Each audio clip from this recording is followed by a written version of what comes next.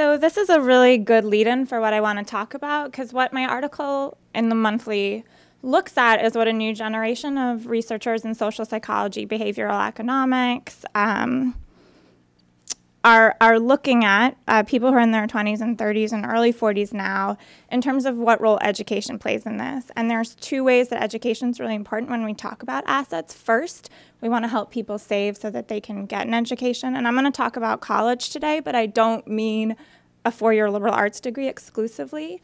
I mean two year degrees, four year degrees, occupational certificates basically what President Obama has asked people to aspire to, which is some sort of post high school credential, which is what's really important and crucial right now in terms of being in the economic mainstream, having the chance to put away that 4% that Phil was talking about so that you can you can have that payoff later on in retirement and, and hopefully work toward a better future for your own children.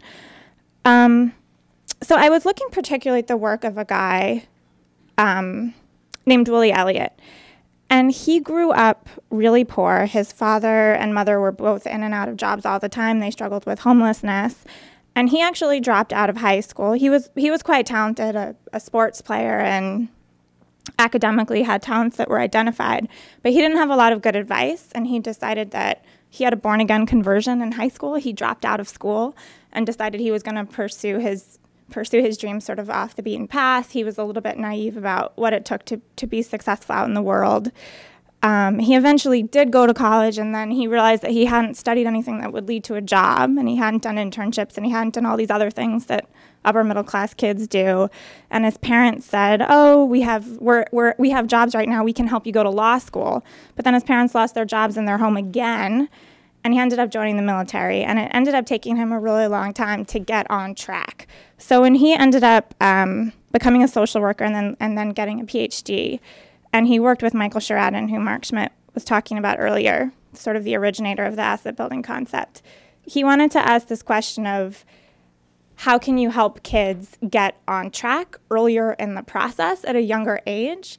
And it really turns out that savings accounts can be a really powerful lever when we talk about savings college saving accounts that either parents open for their kids or that a program can open for a kid or even that a kid can open for him or herself, it's important to realize that we're talking about relatively small amounts of money. The typical savings account for a student has only $401 in it, which is really small when you think about the staggering, staggering cost of a year of college. I mean, even a even a community college would be several thousand dollars a year, all the costs associated with it. So wh- how can $401 that's in an account help a child achieve their educational goals? Um, and the answer to that is is sort of there's two ways to think about it. Um, the way that Willie Elliott, the researcher who I was just talking about, terms it is that it creates a, virtu- a virtuous circle. Um, and then there's another phrase I really like that's coined by the social psychologist Daphne Oyserman um, called bringing the future closer. When you grow up in a college educated family, you're constantly being asked to project forward. And just the act of having the savings account and having it seeded with a small amount of money can help kids who grow up perhaps in families where they don't hear as much about that. It can help bring the future nearer to them in a way that is really powerful. I'm going to come back to this idea because it's important that when we give kids these savings accounts, we also combine that with financial literacy.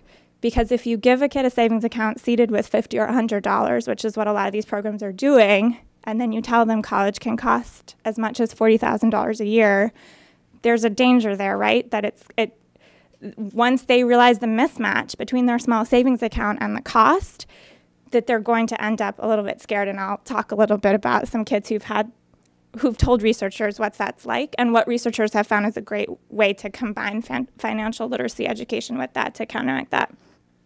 Um, so, just to give you a few more statistics about this, 79% of American kids expect that they will attend four year college.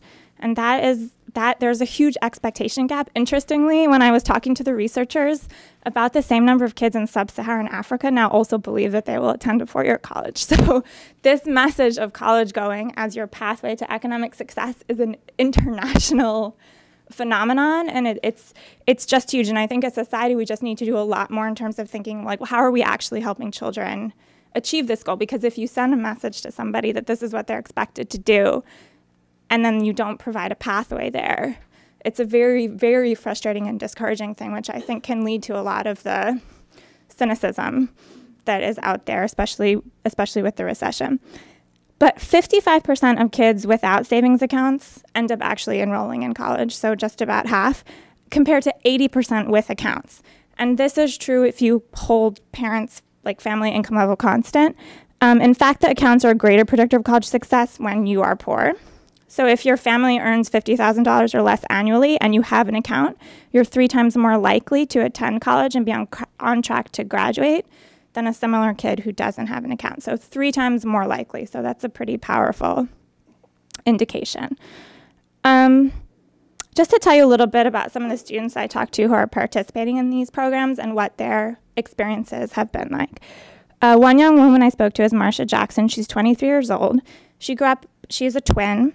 Uh, she and her twin sister were raised by their dad. He was always unemployed, he was addicted to drugs, and he was violent toward them.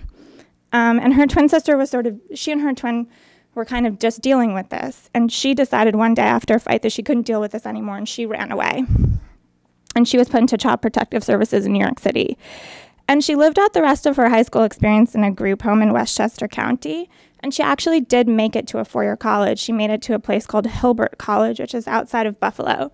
And this is one of those four year private schools where a lot of kids just drop out and assume a lot of student debt and they don't finish. And that is, in fact, what happened to her.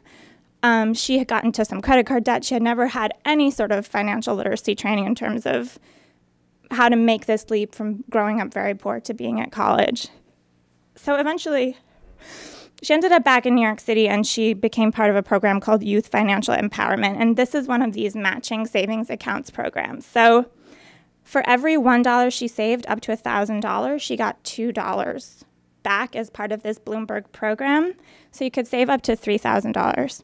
And it's not a lot of money, but she was quite successful at saving. And this was combined with financial literacy training. So, for example, for youth that are aging out of foster care in New York City, there's special housing available that's very inexpensive, that's particularly targeted toward them. And when I talked to Marsha, what I thought was really interesting is that she said most of her peers who are living in this special housing, they feel like the best thing to do when they get savings is to get out of that housing because it's not that nice. And they would rather live in a regular apartment and they see that as a big marker of achievement.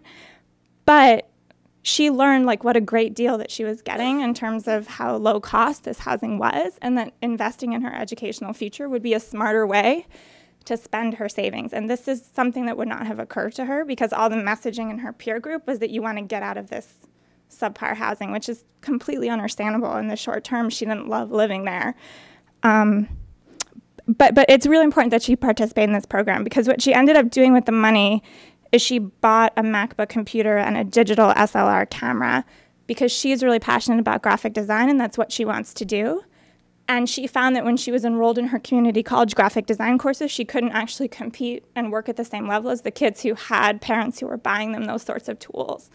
So this it, it's giving her a more positive feeling about what she's doing in school and it's just helping her step forward. And so her new plan is to, to transfer to a four year college and continuing studying graphic design, and we'll see what happens to Marsha. But I think that she's made a bunch of good decisions over the past two years in her life that she's participated in this. And I think it's the combination of, of the financial education that she's getting and the savings itself. I think if you had either one without the other, it wouldn't be as powerful of an effect.